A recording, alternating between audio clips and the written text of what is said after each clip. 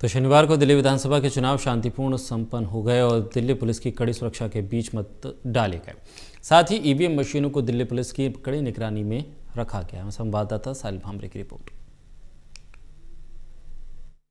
दिल्ली विधानसभा का चुनाव शांतिपूर्ण संपन्न हो चुका है और सारे उम्मीदवारों का जो एक तरीके से जो भाग्य है ईवीएम में बंद हो चुका है। वही मैं आपको बताना चाहूँगा, इस वक्त मैं सेंटर दिल्ली के एक काउंटिंग सेंटर के बाहर मौजूद हूँ। लगभग बताया जा रहा है कि छः विधानसभा की जो ईवीएम मशीन है, उस उस ई मशीनों को इस स्कूल में कड़ी सुरक्षा के बीच में रखा गया है, क्योंकि सत्तर सीटों पर छः सौ बहत्तर उम्मीदवार अपना भाग्य अजमा रहे हैं, जिनका फैसला दिल्ली के एक करोड़ सैंतालीस लाख मतदाताओं ने कर दिया है। अब 11 फरवरी को ईवीएम खुलेगी और जनता का फैसला सामने आएगा। तो आप तस्वीरों में देख सकते हैं, रात का वक्त है। मैं सिक्योरिटी की बात करूँ तो मैं आपको सिक्योरिटी में सुरक्षा में दिखाना चाहूँगा। आप ऊपर तस्वीरों में देख सकते हैं, जो एसएसपी के जो जवान हैं मचान पे तैनात हैं, बाकायदा अत्याधुनिक हथियार से लैस हैं। और वही मैं आपको दूसरी और तस्वीरों में दिखाना चाहूँ तो देख सकते हैं, यहाँ पर भी एक तरीके से जो एस के जो जवान हैं, यहाँ पर भी अत्याधुनिक हथियार से तैनात है, गेट के बाहर तैनात है। बात करें दिल्ली पुलिस की तो आप देख सकते हैं तस्वीरों में,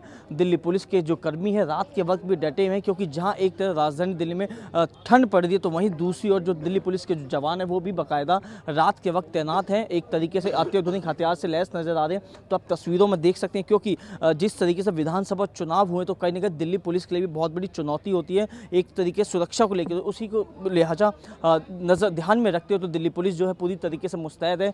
एक तरीके जो ई वी मशीनें हैं, उनको बाकायदा देख सकते हैं, पूरी तरीके सिक्योरिटी में रखा गया है। चाहे दिन हो, चाहे रात हो, जब तक 11 फरवरी जब तक रिज़ल्ट अनाउंस नहीं होता, तब तक जो ईवीएम मशीन है, ऐसे ही कड़ी सुरक्षा के बीच में रहेगी। और आप तस्वीरों में देख सकते हैं, दिल्ली पुलिसकर्मी रात के वक्त भी तैनात है बाकायदा और हर एक जो शख्स गेट से बाहर आ रहा है, बाकायदा आने और जाने वाले पर नज़र रखें, आई कार्ड चेक कर रहे हो। साथ ही आपको बता दें, तमाम पोलिंग जो काउंटिंग सेंटर है, वहाँ पर तमाम जो ईवीएम मशीन को ऐसे ही दिल्ली पुलिस की कड़ी सुरक्षा के बीच रखा गया है।